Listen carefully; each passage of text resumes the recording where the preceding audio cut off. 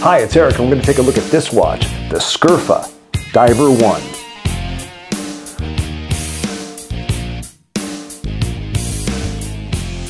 So, I think this watch is easily the most affordable, serious dive watch you can buy. This is around a $350 watch uh, with a helium escape valve built by a diver.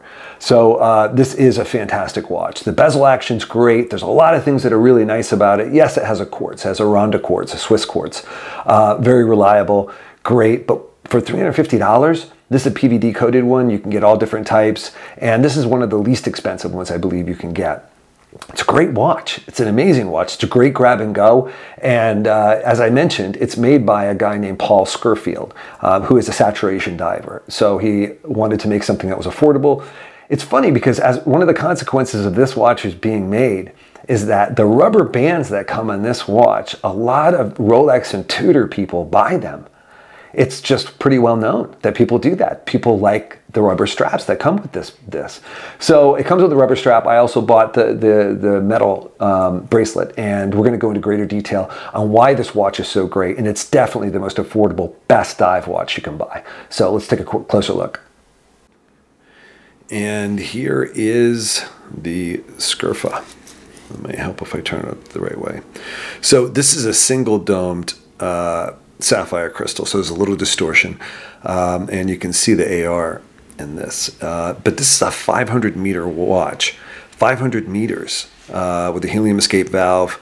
Uh, I told you it comes with the really beautiful rubber uh, rubber strap. I chose to buy the uh, the extra. Um, stainless strap for it. This is PVD coated. I think it's around 300 bucks. I think delivered even to the states is like 325, something like that. But the lume is amazing.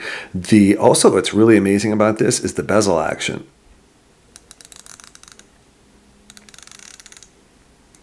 It's really smooth, super exact. It feels like there's a rubber gasket underneath it. It's beautiful. It really is great. Uh, it's 40 millimeters. This is easily wearable all the time. It's 14 millimeters thick, um, and uh, it's just super wearable. Really amazing. Uh, seven millimeter crown, screw down, three gaskets. Uh, as I said, the Ronda quartz with the end of life indicator. Um, this kind of has everything that you need, and this is just I think one of the greatest deals out there for sure.